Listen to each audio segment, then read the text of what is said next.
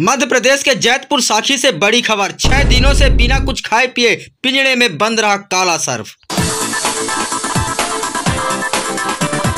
जैसे कि आप इस वीडियो में देख पा रहे हैं कि कुछ लोग पिंजड़े को खींचते हुए घर से बाहर निकाल रहे हैं और इस पिंजड़े के अंदर एक सर्प भी दिखाई दे रहा है।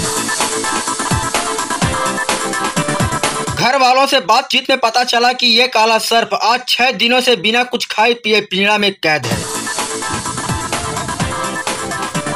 बताया जाता है कि इस पिंजड़े में मुर्गी के दो चूजे पाले गए थे, जिसे खाने के लिए ये सर्प पिंजड़े के अंदर घुस गया था। लेकिन बाहर नहीं निकल पा रहा था। इस सर्प को निकालने की कोशिश घर वाले कई बार किए थे, पर फुनकार सुनकर किसी का हिम्मत नहीं हो रहा था।